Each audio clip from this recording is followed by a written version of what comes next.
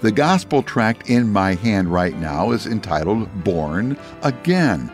Born Again. Now, everybody has heard the term virtually. You see it at the at the football games. Somebody holding up a sign at the uh, as a guy's trying to kick a field goal, and the sign says, "Ye must be born again." The phrase comes from John chapter three. Well, what this gospel tract, this evangelism tool does, it lays out with clarity and with simplicity what in the world it means to be born again.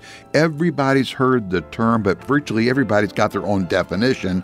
And I want to tell you right now the vast majority of people have the wrong definition, not God's definition. When Jesus said, You must be born again, his was coming to him to have new life through the death, burial, and resurrection of Jesus Christ.